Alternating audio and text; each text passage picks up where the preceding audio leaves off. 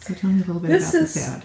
this is one of uh, my prized possessions. is an original ad from uh, 1966 when Star Trek came out.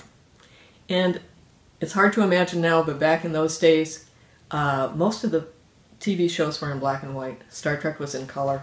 And that's why Magnavox, uh, was Magnavox? RCA, sorry, uh, chose them for this ad. And uh, Star Trek really had to be in color because it was going where no man had gone before. And um, just the scenes and the sets and the colors, the red, yellow, blue that we're so used to now, were very astounding then. Um, like I said, it's really hard to imagine. Now we uh, use uh, black and white as special effects, and we think it looks so rustic, but back then that's all we had. And it was different. Photography was different back then.